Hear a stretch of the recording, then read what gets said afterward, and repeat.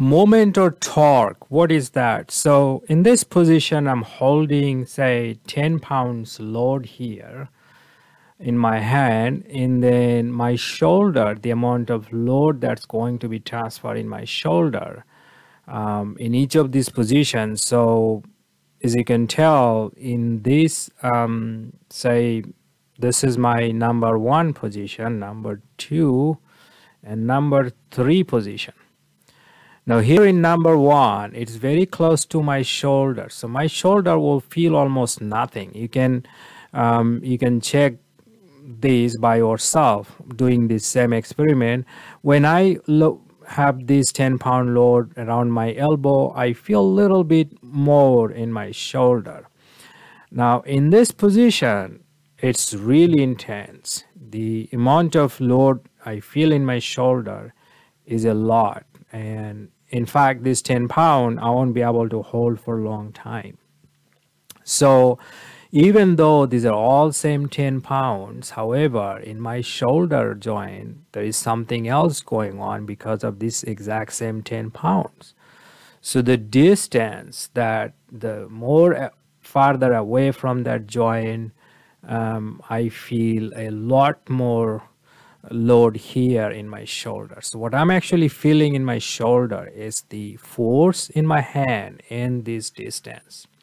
So it's the multiplication of force times distance. So moment what I'm feeling in my shoulder is actually force times distance, whatever I'm carrying. And this is the piece is called moment or torque depending on the situation. You have seen many applications like this. One of these is anytime you are doing some kind of rotational movement, you're actually applying moment or torquing something using a screwdriver or a wrench. Um, you know, anytime something rotating. Now, if you look at this motorcycle, this is my motorcycle.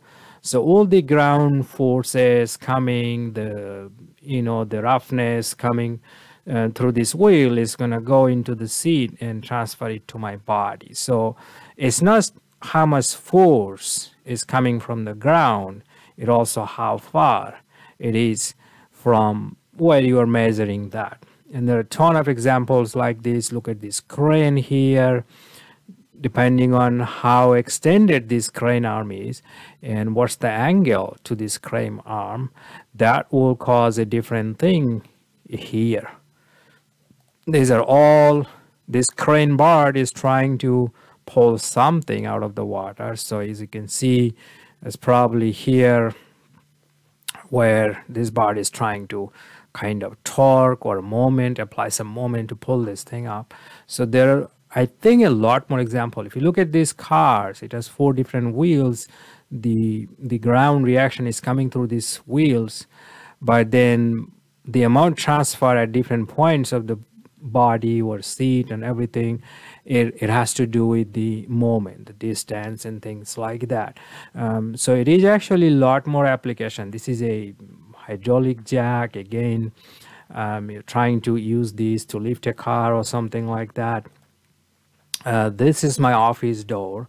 And a lot of times student can close the door when they uh, go done with meeting with me, they try to pull this in this direction instead of going exactly to the uh, 90 degrees. So they pull this way. So they're not really, and then the door seems really, really heavy. There's a small magnet that is holding this door to the wall.